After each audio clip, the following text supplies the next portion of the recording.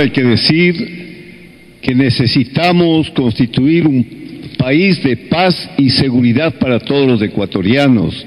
Andrea, en estos 10 años, en el Ecuador vemos la presencia de mafias italianas, mexicanas, el país se ha convertido en un sitio de paso para el tráfico de personas, tráfico de drogas y lavado del dinero. Además, la seguridad ciudadana está muy afectada. Las personas no viven tranquilas ni en sus barrios ni en sus ciudades. La pregunta suya se refiere a un tema muy especial. Si usted suma el número de policías y militares que existe en el país, la seguridad privada los supera en número.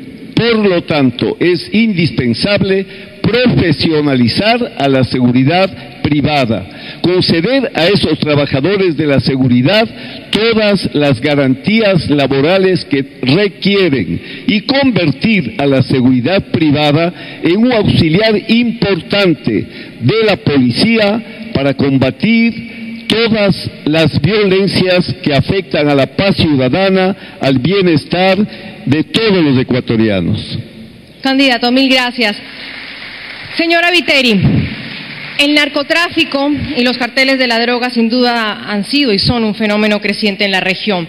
En caso usted de ser la presidenta del Ecuador, ¿cuáles serán sus principales políticas para combatir el narcotráfico y el microtráfico?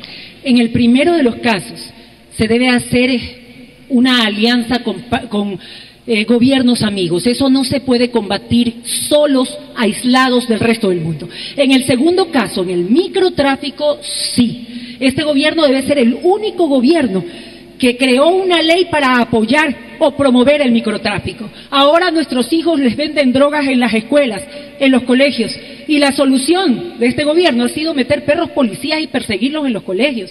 Nuestras madres hacen turnos para proteger a sus hijos en los barrios. Cambiaron la tabla de multiplicar por la tabla del consumo de drogas.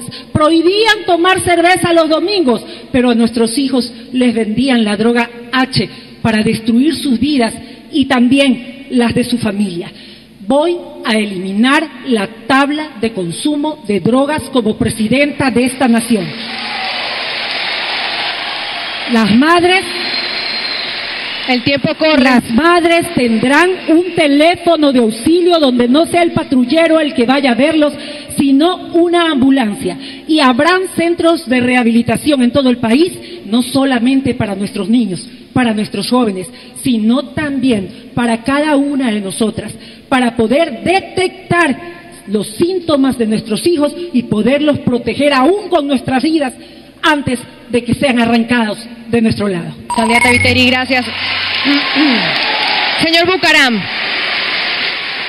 en la misma línea, gracias, en la misma línea que ha hablado la señora Viteri sobre acuerdos con otros gobiernos, quisiera preguntarle si está de acuerdo o considera necesario suscribir acuerdos bilaterales con otros países a fin de reducir el crimen organizado en nuestro país. Todo tipo de acuerdo que no nos lleve a renunciar a nuestra soberanía.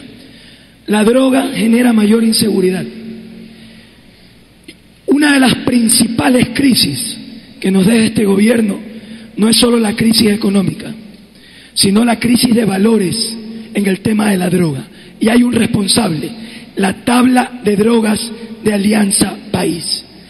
Vamos a derogar esa tabla de drogas que ha hecho que nuestros niños vayan a las escuelas ya no a aprender, sino a consumir.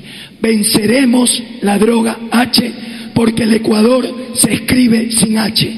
Construiremos centros de rehabilitación y desintoxicación gratuitos en todas las provincias del país.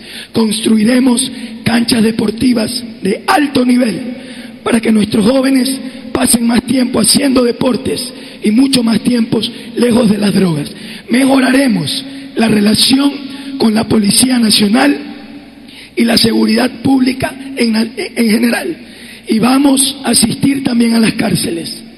Recordemos las palabras de Martin Luther King. La paz no es solo la guerra, la, la, la ausencia de guerras y conflictos. La paz es la presencia de la justicia. Vamos a llevar la justicia a las cárceles para acabar con este modelo corrupto de este gobierno. Gracias, candidato. Señor Lazo, han aquí hablado de, de las drogas. Gracias, muy gentil. Es el turno del señor Guillermo Lazo. Han hablado aquí de drogas y me encantaría saber su posición frente a la legalización de las drogas con fines medicinales y recreativos que está ocurriendo ya en algunos estados de Estados Unidos, que lo han definido mediante consulta popular, y también en países como en México. Hay que reconocer el avance de la ciencia y hay que dividir. Una cosa es la marihuana y sus propiedades medicinales y otra cosa es el otro tipo de drogas como la cocaína o la droga H que está matando a los niños y jóvenes en el Ecuador. Pero no podemos tomar una decisión aislado, porque no vamos a eh, convertir al Ecuador en un país o en un paraíso de las drogas. Tenemos que relacionarnos con todos los países del mundo, junto con Colombia, Perú, los Estados Unidos, México, Europa. Tenemos que hacer una gran alianza para luchar contra el narcotráfico internacional.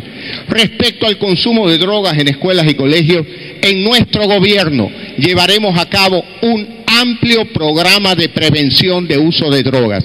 Hasta el